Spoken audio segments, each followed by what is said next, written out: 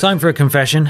We've done some horrible things in video games. Mowing down innocent pedestrians, stealing our weight in gold, picking Oddjob in split screen multiplayer even though everyone agreed he was banned. Many games have led us down a rough path, committing some despicable deeds that we'd have a hard time explaining in front of a digital judge. Is it the fault of us, the players? Or is it because video game protagonists aren't the infallible superstars we all assume they are? Whether it's the RPG characters that think it's their god given right to storm into every private residence and shake down the poor citizens, smashing entire pottery collections for the sake of a few bucks, or endlessly murdering hundreds of regular guards who are just trying to make a living and support their family. Most so called heroes are responsible for some quite unheroic decisions when you think about it. We reason with ourselves that we had no choice, or it was us or them, or we really needed that 100% achievement. Whatever helps us sleep at night, really. But in the end, we pressed the button, didn't we? Let's look at some.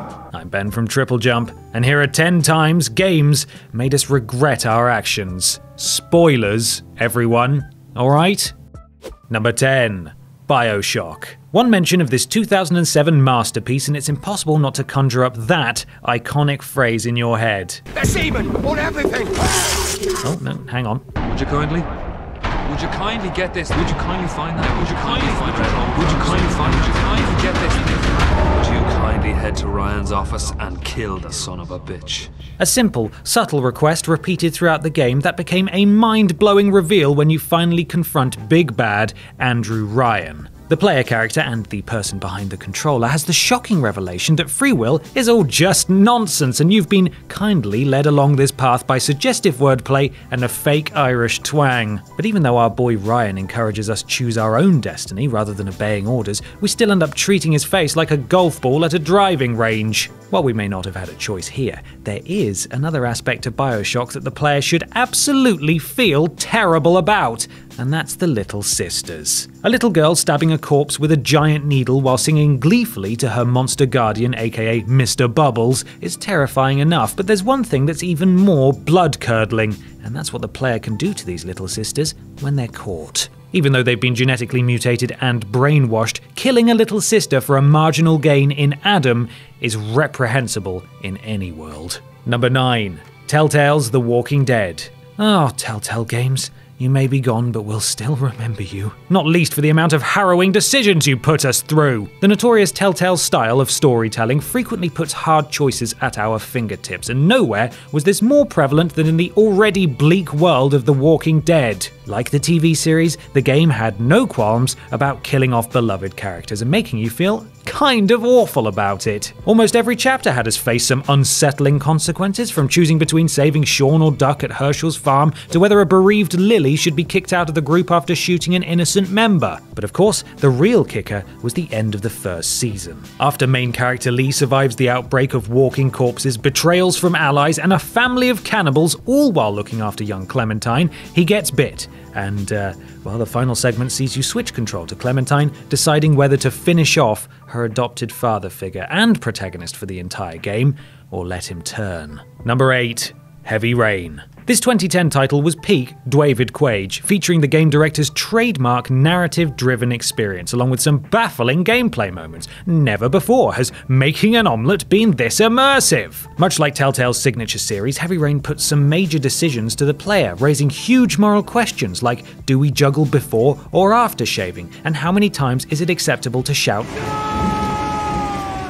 There are also more serious matters to attend to, like solving the mystery of the origami killer who's been abducting children, following the case through the eyes of several main characters. One of these characters is FBI agent Norman Jayden, a man fond of using slick augmented reality goggles to help him solve crimes and play the piano. In a relatively minor scene that nonetheless stands out as a what have we done moment, you're raiding a subject's house who's clearly not all there when he pulls a gun on your partner. At which point you can either shoot him or talk him down, or, like us, calm him down before he looks like he's pulling out another weapon and instinctively shoot him without thinking. Yeah, not gonna pull a fast one on us, bucko. And then you realize he was just carrying a cross. Ah, yeah, no, that's. Oh, that's our bad.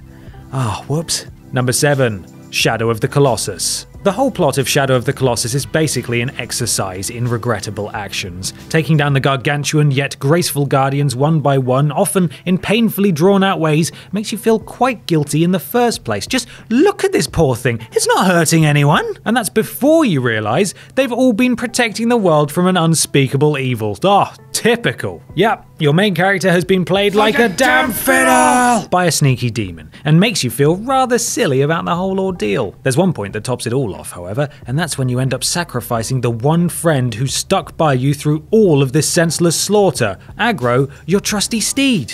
On the way to the final Colossus, jumping across a crumbling bridge comes with some hefty consequences as the structure collapses. Your horse bucks you off onto the safety of the ledge before falling to his doom below.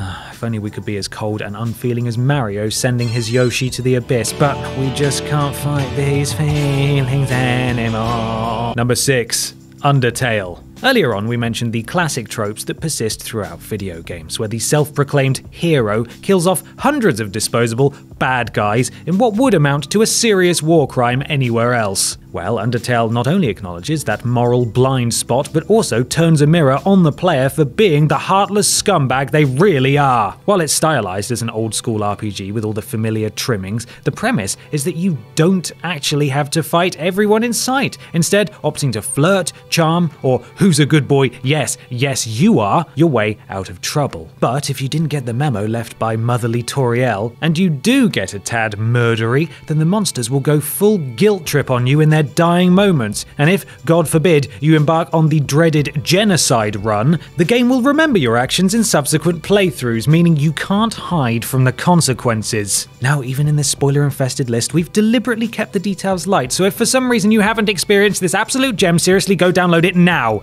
and then and then you can regret your you can regret your actions along with us, like a support group. We're in it. Come on. Number five, Portal. We're not angry. In fact, we're being so sincere right now. Even though you broke our heart and killed our poor companion cube, yes, it may have just been a weighted box, and yes, it was only with us for the briefest time, but that cube gave us hope.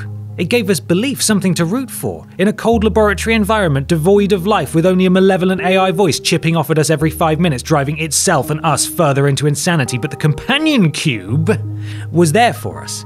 It protected us. It shared in our triumphs. And then you had us euthanize it. Not only could you not let us have this one little piece of solace, but you had us be the ones that took it away. You're a real piece of work, GLaDOS, you know that? In fact, we're glad. We're glad you got turned into a potato. There, we said it. No less than you deserved. No less than you deserved. Alright, maybe we're still a, a little angry.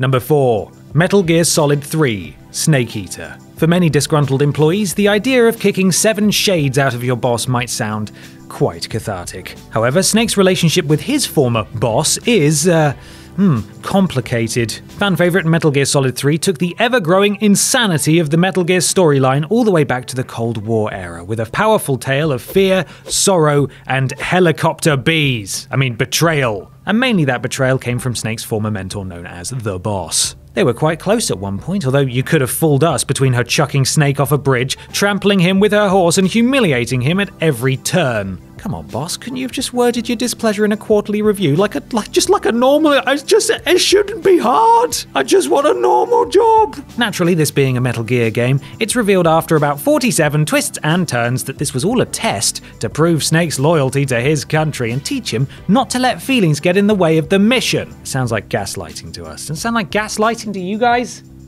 It shouldn't be allowed. But at the end, it was impossible not to feel quite horrid knowing the sacrifices she had made, especially with the beautifully symbolic setting and the fact that we had to pull the trigger ourselves. It's, ah, it's too much. Just roll the epic theme song to dull the pain.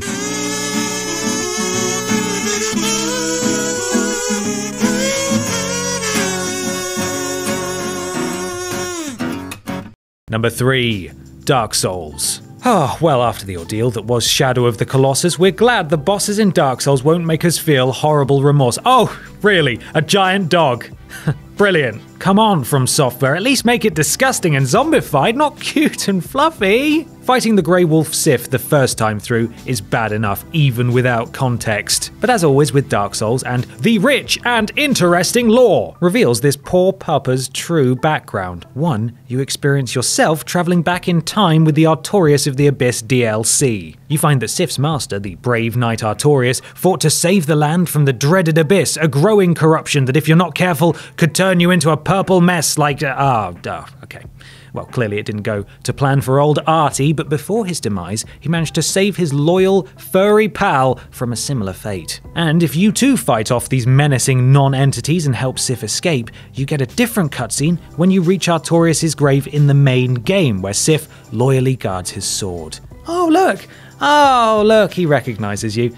Oh, he's all sad. Oh, he's even reluctant to grab the sword. Hey, maybe we can do an Undertale and, and avoid a fight. Who's who's a good boy? Sif, who's a good boy? Oh, oh, okay, never mind. Number two, The Last of Us. Ah, oh, the classic sacrifice one to save them all dilemma. And it's always trickier than it sounds. Mathematically speaking, the bigger number makes sense, but then you get yourself tangled up in the trolley problem. What if the one person is a small child and the five people you save are all older people who've lived full lives? Or what if, like Joel from The Last of Us, there's a teenage girl and a trigger happy surrogate father who's just had enough of the so called experts telling him that his daughter's immunity and sacrifice could be the key to curing the cordyceps infection that has destroyed civilization? What, what, what, what, what, if that? What if that's the one? If that is the let's just hope it's not your shift for surgery later. With no branching narratives in the game, you don't really have a choice, although at this point, you're likely fully invested in Joel's bloody crusade to get Ellie back, killing any scientists in the way. Only after the event does the gravity of your actions sink in, having potentially doomed all of humanity because of one man's selfish motives. Plus, shooting those two unarmed surgeons was a bit much for me, Joel. Number 1. Spec Ops The Line. Games are designed primarily as a piece of entertainment, but occasionally, video games can go above and beyond to carry a deeper message. And in Spec Ops The Line, that message is clear war is hell. The story drops your three person squad into the middle of a sandstorm ravaged Dubai to stop a rogue colonel and save the locals, but good intentions quickly go sour during the now infamous scene involving the use of white phosphorus. Surrounded by enemies, protagonist Walker is adamant you have no choice but to use the prohibited weapon, so you fire up the aerial device, taking shots at little white dots in scenes reminiscent of modern warfare's disturbingly casual death from above level until every last dot disappears. Then you have to walk directly through the battlefield, witnessing the consequences of your actions. And the real gut punch is the end reveal that the collection of figures at the back were just civilians. There aren't many things in video games that will hit you harder than seeing a mother cradling her child, desperately trying to protect them from the carnage that you just caused. Ugh. You can't really be jovial or humorous about this. It's just awful. So, without a doubt, this player made atrocity truly left a mark on the gaming landscape as a whole. Oh, that was an emotional roller coaster, wasn't it? Let us know of any standout gaming moments that made you feel guilty as sin in the comments below. You can follow myself and Triple Jump on Twitter here, and while you're at it, why not support the things you enjoy by having a look at our Patreon? Finally, don't forget to like the video, share it with your friends, and subscribe to the channel. I'm Ben from Triple Jump, and thanks for watching.